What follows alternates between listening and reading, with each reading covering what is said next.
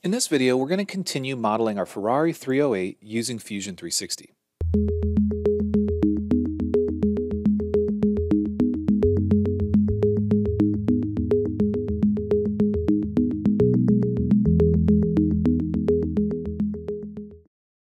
Hey everyone, this is Matt with Learn Everything About Design, and in this video we're going to take a look at creating the lower portion of our Ferrari 308. We're going to start doing this at the door line because it's going to be the easiest for us. But we want to take a look at a couple different options. There are some things that we need to be aware of, and some of those are going to be the fact that we have a wheel well to contend with, we've got a couple of creases, and on the Ferrari itself, there is a pretty apparent midline and if we take a look at this, it's kind of hard to see, but the midline is actually uh, recessed in and then it comes back out. Now, this, you know, this feature that we're going to have to model um, it could be difficult. It's something that likely is going to be easier to just model the body without it and then cut it out later. But I want to take a look at the, you know, potentially two different methods or ways in which we can do this. So the first thing that I want to do is, is I'm going to start by just selecting three edges. Uh, and, and as always, you guys can download this data set from the description in the video or carry on with your own if you are following along. But I want to take some of these edges and I'm a, apparently I'm going to, you know, come back and fix these later, but I'm, I'm going to avoid them for now because I think they're going to cause problems. But I'm going to take this edge.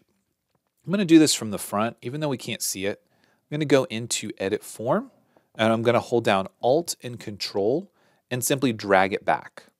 And when I do that, I'm extruding the edge, but I'm doing it with a crease. Now you can see that we've made that edge and I'm doing it with a crease.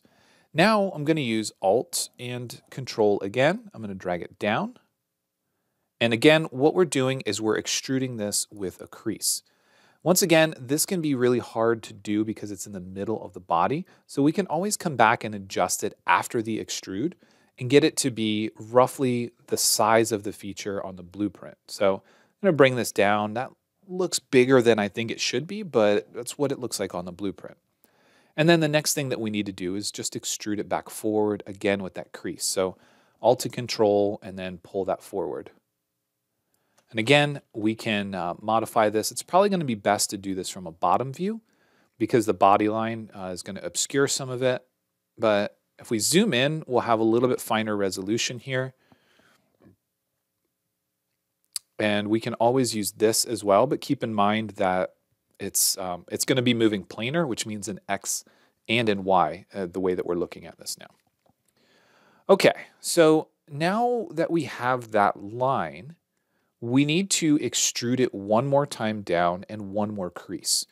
Now, this is where it gets tricky because we're going to have to control the curvature. So I'm going to bring the canvas back and I'm going to hold Alt and Control again, and I'm going to pull this down to about, in this image, there's uh, what looks like a side skirt, but it's actually a sill. And on the car itself, it appears to be all very consistent curvature. So um, it doesn't flare out or anything there. So this gives us, uh, you know, pretty much what we're doing is we're taking the body line down to there. One thing you'll notice is we've done this in one section. And by doing it in one section, it means that we're not really able to control the curvature very well. So what I mean by that is if we pull this in and we go to a smooth display, um, what we're going to see is that it's straight. And it's straight because there's a crease here and it's simply moving straight down. With that edge still selected, I'm going to go to Insert Edge and put it right at 50%. Then I'm going to double click that edge use edit form and simply pull that edge out. This we can do from the front because we haven't designed the rest of the body yet. Now notice the, the front and the back, if we bring the front and the hide the back, this looks quite a bit lower than what we see for the front of the car. Now that's typically what you would see when you look at this from the side.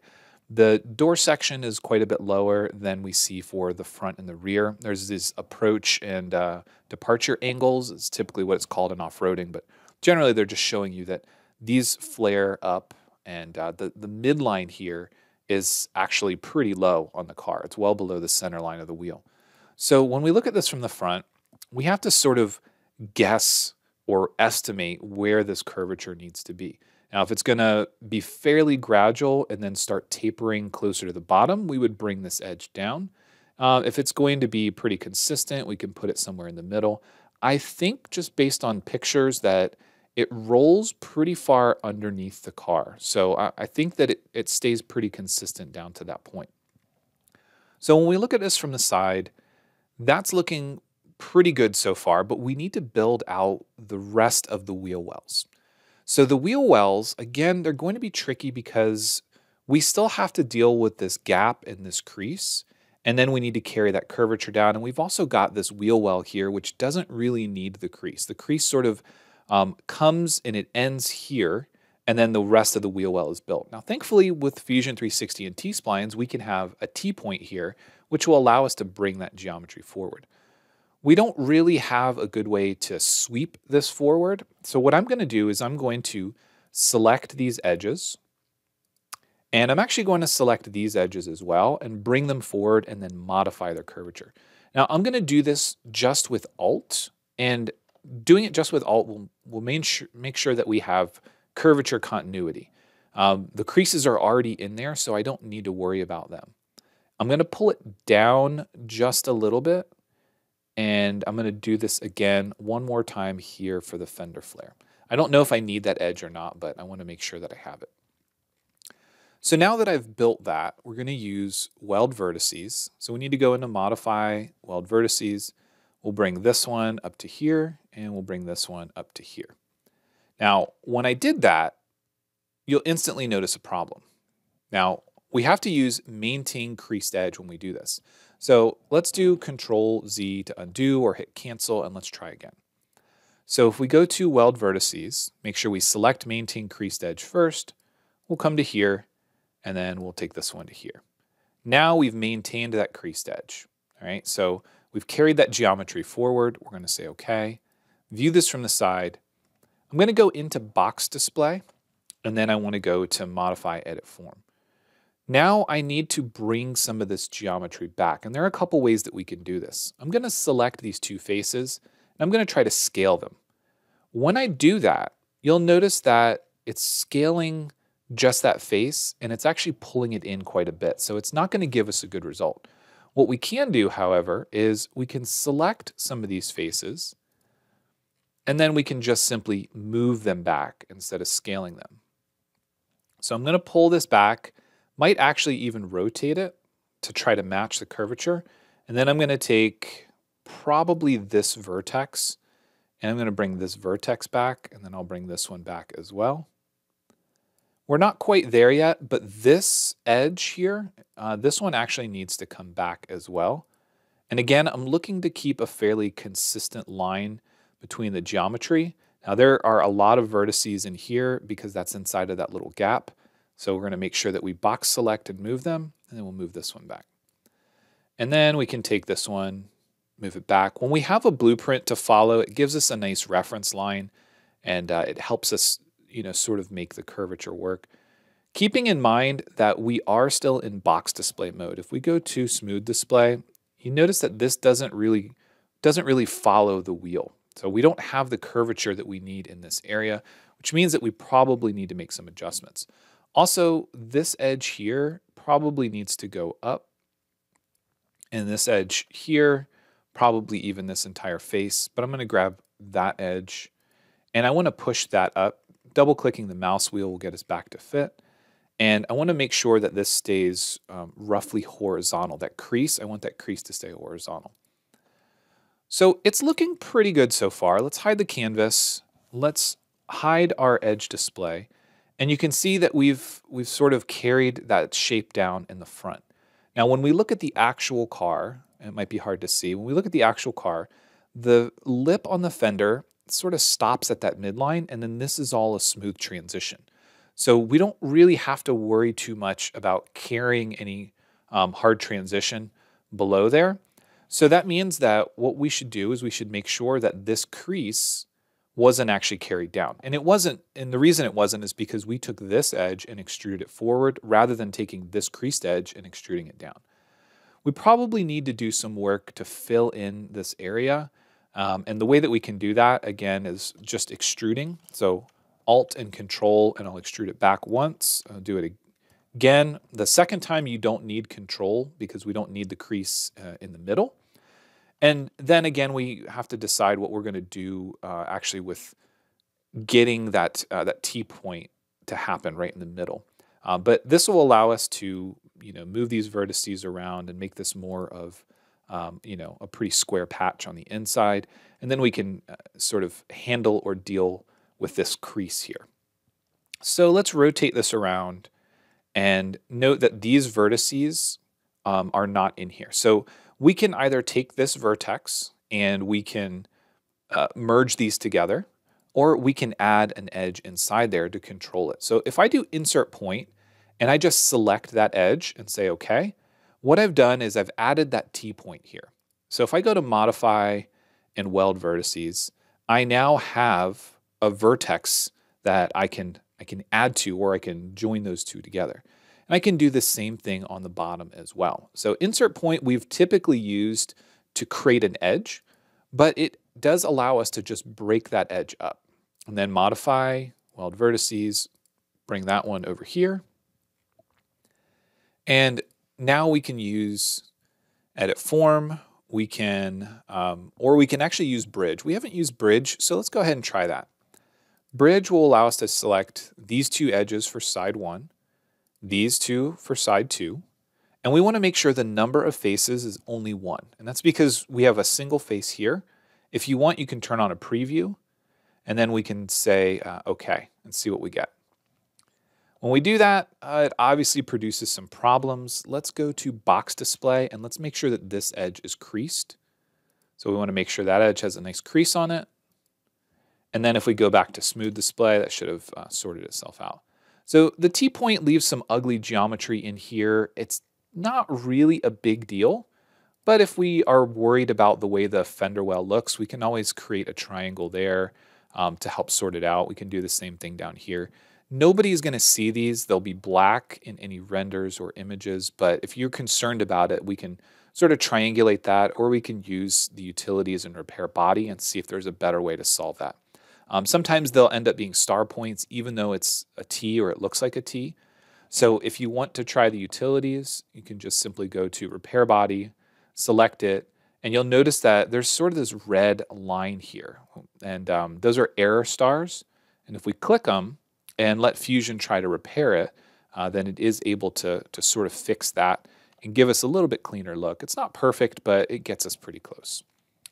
So this is the exact same process that we're going to follow for the back as well. So we'll show the canvas, I'm to rotate this around. We're going to use modify, edit form. We want to select all the edges that we want to extrude. Remember, when we're extruding edges, the creases will go with it. So anything that we have here will, will follow. And remember also that we are trying to match the number of faces. So I'm going to hold down Alt. I'm going to drag this one forward just a little bit. I'm going to let go and do it again. And then we'll say, um, cl just click in the canvas somewhere. Go back to box display mode because it's going to be a lot easier to deal with. Rotate it around. If you have trouble, always just make sure that you turn the canvases off. Sometimes they can be a real pain to see and then we'll go into weld vertices. So I want to bring this one forward, and then I want to bring this one forward as well. Remembering that we don't have anything for this to attach to just yet. Uh, all we're really trying to do is bridge that stuff on top, and then we'll worry about the inside of the fender. We go back to smooth display, go back to a right side view, bring back our canvases, uh, and really we're working just in the side, so I'm going to hide the front and the top for now. And then Notice that it doesn't look like it lines up, but that's only because this vertex um, is just inset here. So even though the patches don't look like they line up, everything is fine. But we want to use modify and edit form, and again in box display, and just simply move some of these. So I'm going to bring that entire section forward. Likely want to move this up. I'm going to allow it to flare out as it gets closer but I want to make sure that it's not too drastic. And then this one needs to obviously come forward to try to match the curvature. And then we can bring this in as well if we want to tighten this up. Remember also, if you're grabbing any vertices like this one where it is on that crease, you might want to use box select and that'll grab everything that's sort of underneath it. It might be hiding behind something. Everything looks pretty good. Um, smooth display looks okay. And there's obviously more that we could do. But the benefit here is that we took the majority of the body in the middle and we brought it down. And then we worked on the flared out sections individually because those were going to cause problems if we were to extrude because of these creases. We didn't really want those creases to survive. Um, and then from here, of course, we'll take this um, Alt Control, and then we're going to extrude it back once, and then we're going to do it again with Alt without Control because, uh, again, we don't need the crease on the second one. This edge here does not need a crease. We'll bring that forward. And then we can bridge these two together. And then we can um, also add that T-point. So we're gonna, we're gonna split this up. We'll say okay. We'll repeat the process. We'll split this one up, say okay. And then we'll go in to weld those vertices together.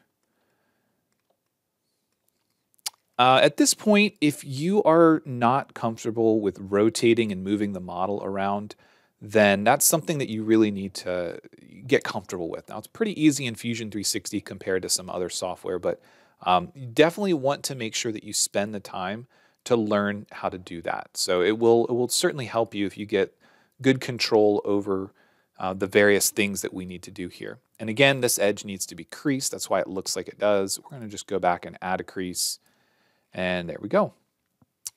So that looks pretty good. If we go to the right again, hide our canvases. We're going to turn off our edges. We have a pretty good representation of the midpoint of our Ferrari body. Now, again, I did mention that this was not really an ideal way to model something like this. Um, would really be better to just carry the body down and cut that out later with surfacing tools. But the point of this is for us to learn how to use the form tools. So if there is a way to do it, we're going to try to explore it. I'm pretty happy with the results so far. Um, this is obviously a whole lot easier than the WRX model was with all the creases and fender flares and so on. Um, so hopefully you guys are getting some enjoyment out of this and are progressing and, and having a good time. If you have any questions, please let me know. And as always, thanks for watching, and we'll see you in the next one.